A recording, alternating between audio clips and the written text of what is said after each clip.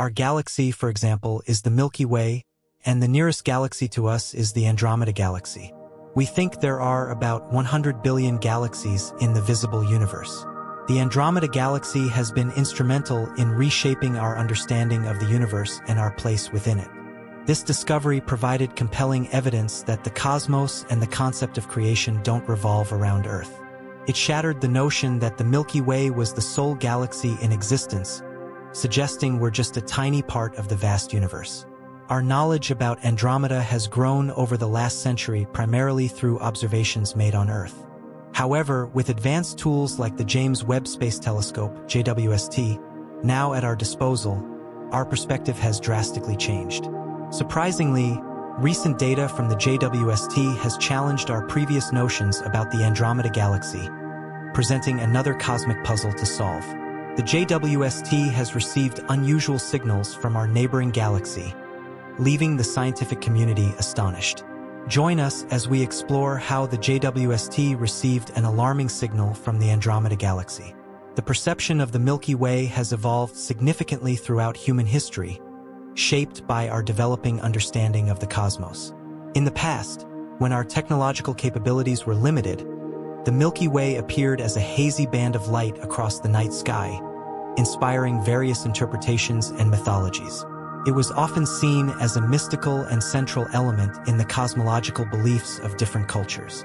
In the 1920s, Edwin Hubble, an American astronomer, made a transformative discovery using the 100-inch Hooker telescope at Mount Wilson Observatory. Through observations and analysis, Hubble showed that distant nebulae beyond the Milky Way were actually separate galaxies, each containing billions of stars.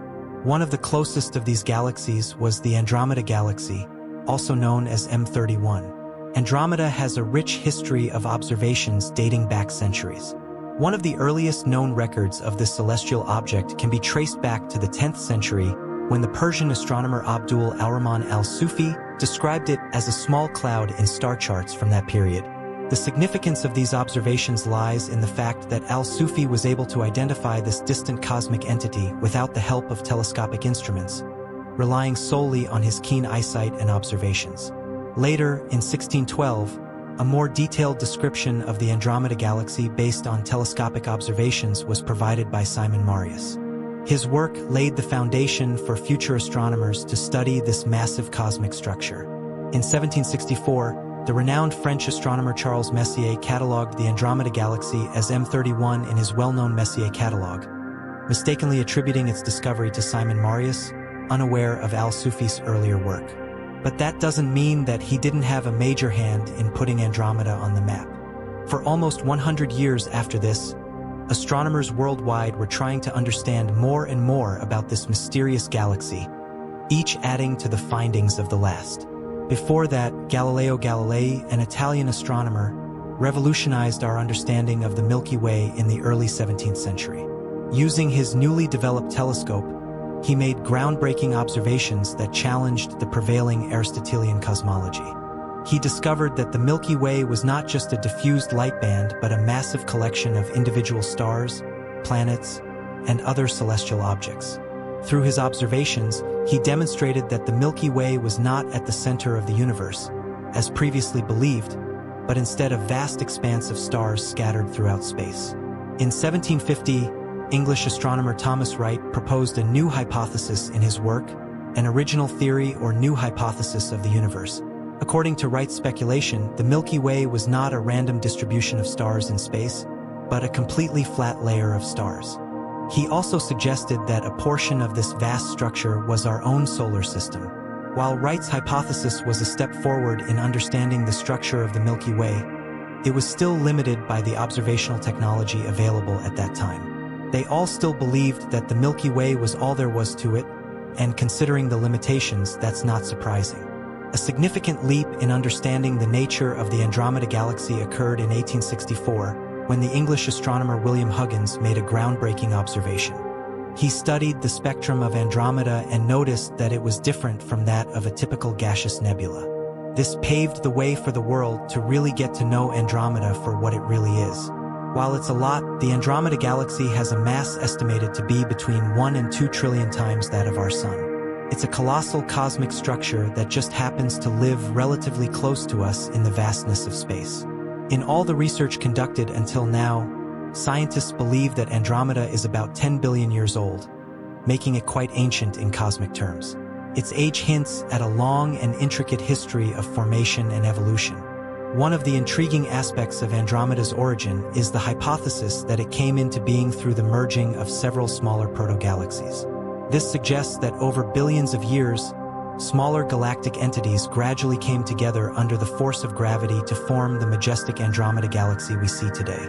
Such galactic mergers are common occurrences in the cosmos, shaping the growth and structure of galaxies. For a long time, astronomers thought Andromeda was significantly more massive than our own Milky Way galaxy. From an objective point of view, a mistake like this could easily be made because we're in our own galaxy, and seeing Andromeda from Earth does make it look so large that you'd easily think that there's no way anything could even come close to its size. But that's not the case. Galaxies are immense systems, and their mass is intricately linked to the distribution and movements of stars, gas, dust, and dark matter within them. Pinpointing these values precisely is a demanding task that requires sophisticated observational techniques and meticulous analysis. This type of knowledge requires modern tools, which is why the reality is just coming to light now. Recent research has brought about a reevaluation of these beliefs. New findings have led scientists to somewhat reduce their estimate of Andromeda's mass while simultaneously increasing the mass attributed to our Milky Way. As a result, the current understanding is that the masses of these two cosmic giants are much closer than previously thought. So if you were to be on Andromeda and looked at Earth, you'd see just as massive of a galaxy. This puts into perspective how colossal the Milky Way itself is. The Andromeda Galaxy's physical dimensions, though, are what astronomers totally agree on. It's known to stretch farther than our own Milky Way, with an impressive diameter of about 220,000 light-years. Andromeda surpasses the Milky Way's estimated diameter of roughly 100,000 to 175,000 light-years, making it a truly significant cosmic entity that takes over a large region in space. This revised perspective also highlights the complexities and challenges of accurately measuring the mass of galaxies. In the heart of the Andromeda Galaxy, the supermassive black hole exerts an immensely powerful gravitational pull on surrounding stars. As these stars orbit around the black hole, they follow elliptical paths, similar to planets orbiting the Sun in our solar system. At a certain point in their elliptical orbits, stars come closest to the black hole, known as the perihelion. At the perihelion, the gravitational forces are at their strongest, causing the stars to move at their highest speeds. This is when the stars bunch up and become more concentrated in space around the black hole. As they bunch up, the stars release energy in the form of radiation, including visible light and other types of electromagnetic radiation. The increased concentration of stars and the release of radiation create the brighter point of concentration that astronomers observe in the galactic core of Andromeda's active galactic nucleus, AGN. An AGN is a highly energetic region at the center of a galaxy characterized by intense emissions across various wavelengths, from radio waves to X-rays. AGNs are powered by the presence of a supermassive black hole at the heart of the galaxy. When astronomers observe active galactic nuclei using advanced telescopes like the Hubble Space Telescope, they notice a fascinating phenomenon. One of the most intriguing features of the Andromeda Galaxy is its AGN. It appears to have two points of concentration, meaning there are two distinct regions where light and other forms of radiation are emanating more intensely than in the surrounding areas. The brighter concentration is the second point of focus, which is just slightly off the true galactic center. Within this area lies the supermassive black hole, the mass of which has been estimated to be between 11 to 23 multiplied by 10 to the power of 8 solar masses. This means it weighs approximately 110 to 230 million times as much as our Sun. Supermassive black holes are believed to be common in the centers of galaxies, including our own Milky Way. As a result, they play a crucial role in the evolution and dynamics of galaxies. When matter, such as gas and stars, gets too close to a supermassive black hole, it forms an accretion disk around it. This disk of swirling material heats up and emits intense radiation across various wavelengths, which is why the AGN is highly luminous.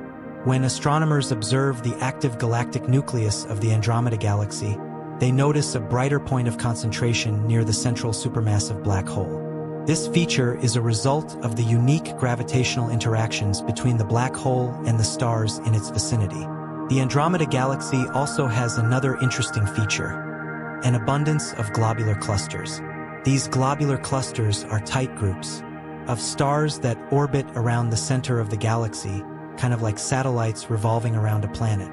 Andromeda is estimated to harbor around 460 of these dense and ancient clusters, each containing hundreds of thousands to millions of stars that formed around the same time.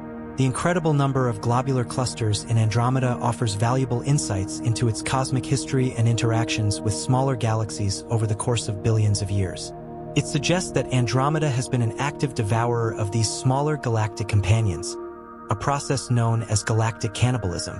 As smaller galaxies come within Andromeda's gravitational reach, Immense forces strip them of their stars and other components.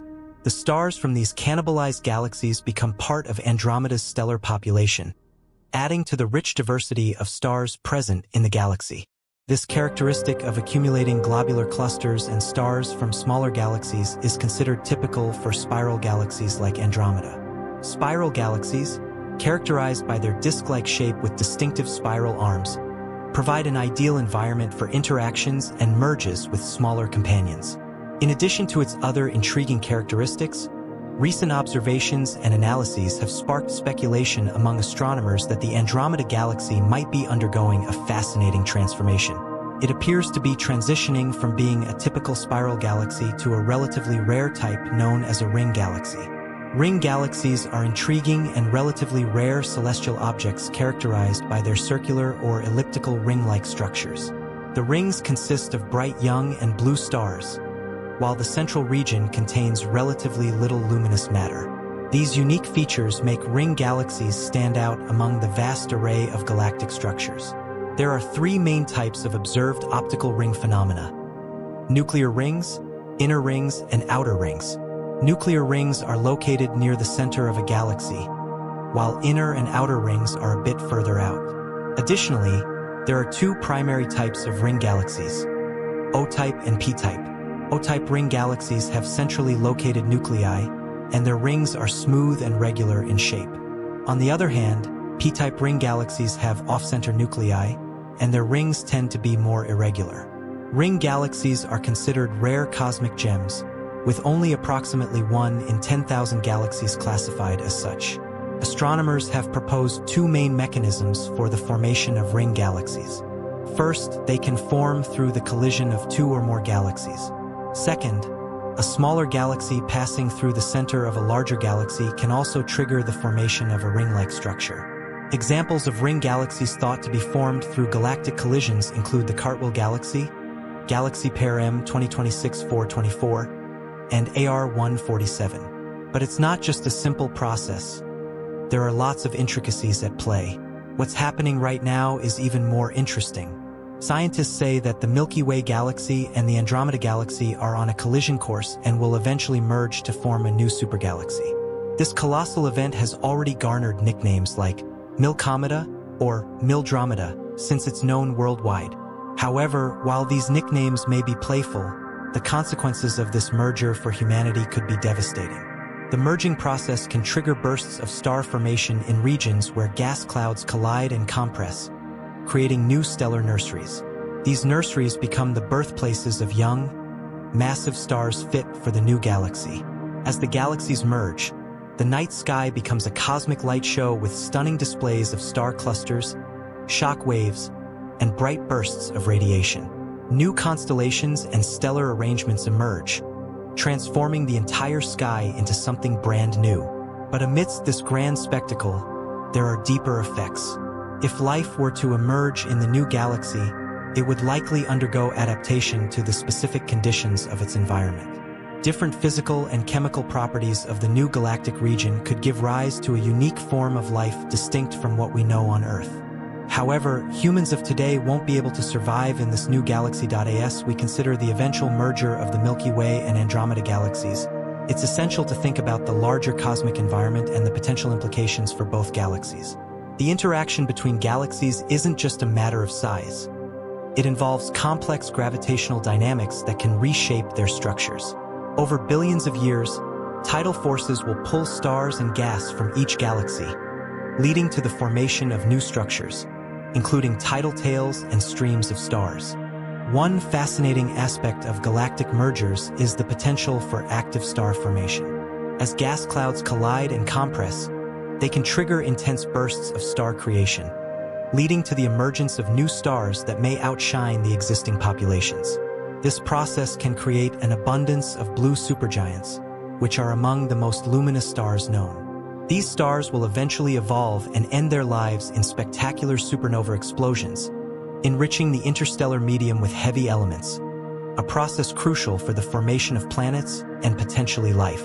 The merger will also have profound effects on the dark matter halos that envelop both galaxies. Dark matter, which makes up a significant portion of the universe's mass, interacts through gravity but not electromagnetically. This means it doesn't emit light, making it challenging to study directly. However, its influence is felt during galactic interactions. As the Milky Way and Andromeda collide, their dark matter halos will interact, altering the gravitational landscape. This can lead to the formation of new dark matter structures, possibly affecting how stars and gas are distributed in the resulting galaxy. As we look further into the future, the newly formed galaxy may take on characteristics distinct from either parent. This unique identity will arise not only from the merger itself but also from the subsequent interactions with other nearby galaxies. Over time, the new galaxy could become part of a larger galactic supercluster, engaging in further interactions that continue to evolve its structure. The sheer scale of these cosmic events provides a humbling perspective on our place in the universe. Even as our planet and solar system remain stable for now, the cosmos is in a constant state of flux, driven by gravitational forces that shape the very fabric of reality.